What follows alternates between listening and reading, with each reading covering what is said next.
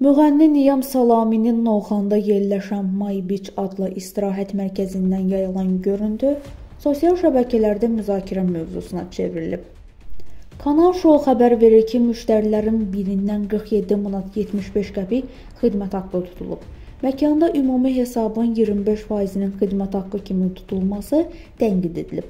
Qəbizdə ödənilən hesabın 4də 1 hissəsinin xidmət haqqı kimi tutulması əks olunub. Belə ki, müştərinin sifarişi 191 manat məbləğində olub.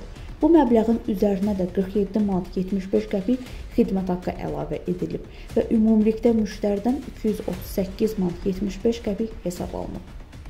Restoranın administratoru Elvin Məmmədli isə bildirib ki, həmin qəbizdə qeyd olunan məbləğ həm də şou proqramla bağlıdır. Stat: Bizdə həm menyuda, həm də Instagram və TikTok hesablarımızda xidmət faizi qeyd olunub. Əyləşən kimi də müştəriyə bu barədə məlumat verilir. Həm xidmət haqqı, həm də şou proqram ödənişi bu 25%-ə daxildir. Bura gələnlərin də əksəriyyəti təkrar müştərilərdir.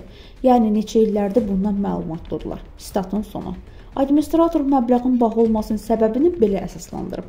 Stat Bizdə olan şou proqram heç yerdə yoxdur. Bizim müğənnilərə şou proqrama verdiyimiz pullar onu ancaq ödəyir. Hər gün də şou proqramımız olur. Statın sonu.